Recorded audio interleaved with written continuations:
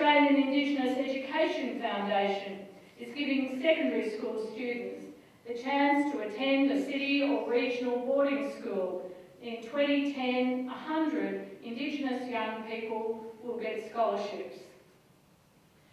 We're supporting the great work being done by those uh, two extraordinary footy codes, the AFL and the NRL, and Qantas, whose uh, outstanding work is instilling confidence and pride in so many young people, as well as honing their life skills and a few footy skills along the way. These uh, very, very important reforms all leverage, all leverage the forceful link between education and high expectations.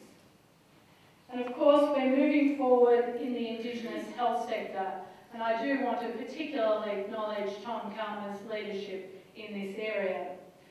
We've committed over $800 million to tackle smoking, Tom, uh, poor diet, not that I'm saying Tom's a smoker, lack of exercise, of course the importance of uh, reducing chronic disease, more funding to improve ear, eye and dental health, and in the Northern Territory in particular, we've invested an additional $1.2 billion into services for local communities, and that's all since November 2007. And some of that money's been spent on additional teachers, an additional 140 teachers in the Northern Territory. Extra school nutrition programs, around 7,000 meals have been made and served up to kids in the Northern Territory, and so many of them better off as a result. We're moving the emergency response to a much more sustainable phase, empowering Indigenous people to drive solutions for lasting change. I know many of the women here today, uh, I, who I do want to particularly acknowledge as I make these remarks, understand how critical it is that we have a safe environment, environment especially for children and women in Aboriginal communities. And for so many of you, we uh, published uh, just, just last week the Indigenous Family Safety Agenda to help reduce family violence. We've also just announced the first Australian study community-led into the prevalence and impact of fetal alcohol spectrum disorder on Indigenous children. We do understand that protecting vulnerable children is one of the most critical responsibility a government has. As part of the emergency response, of course, we continue to fund more police, night patrols, safe houses. There's been increased funding for police intelligence activities to counter drug trafficking and alcohol abuse. But we're also putting more money into backing communities to put in place strong alcohol controls that they know will work in their own environments. Later this year, we'll also begin our mainstream welfare reforms to fight passive welfare, to protect children and to promote personal responsibility. This is aimed at giving vulnerable Australians, including Indigenous Australians, but not limited to uh, Indigenous people, giving people in these circumstances the financial structure and incentives to take stronger control of their lives. We've rejected the scattergun approach to servicing remote communities. A Coordinator General for Remote Indigenous Services I'm pleased to see him here this, this evening, is, has been appointed to drive our reforms, to give communities, these communities, access to the level of basic services that other communities of a similar size and similar and in other locations expect. Our reforms to employment services giving more Indigenous people the skills and training they need to get and keep a job.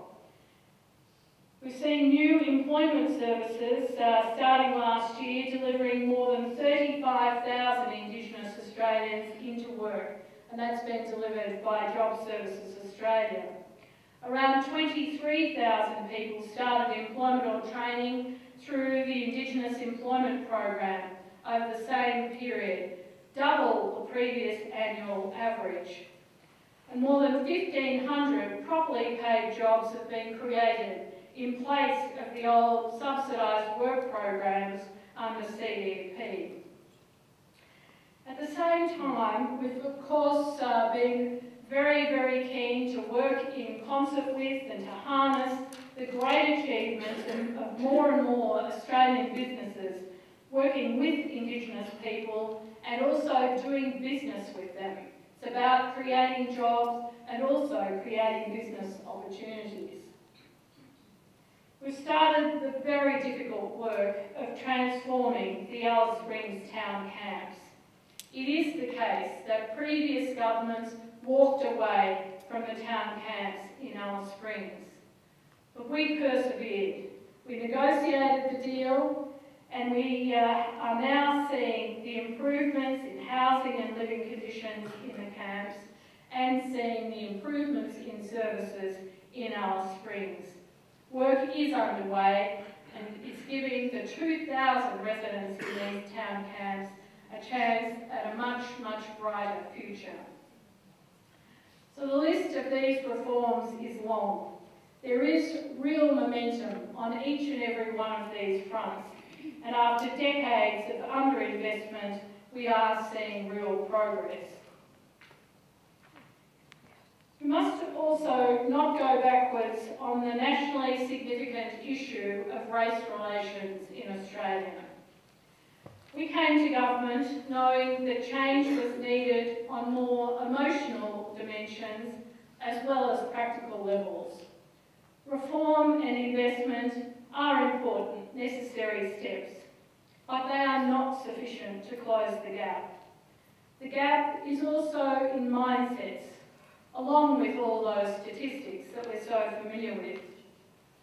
The horrifying numbers about life expectancy, health and education. They don't tell the whole story. The hand that history has dealt us has shaped our understanding of ourselves and each other. We recognise the great importance of pride in identity, in shaping aspirations and choices. That's why Federal Labor reversed the former government's position and endorsed the United Nations Declaration on the rights of Indigenous peoples.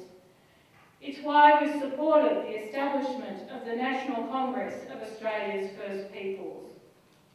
We recently nominated an Indigenous woman, Megan Davis, and she was successfully elected to the United Nations Permanent Forum on Indigenous Issues.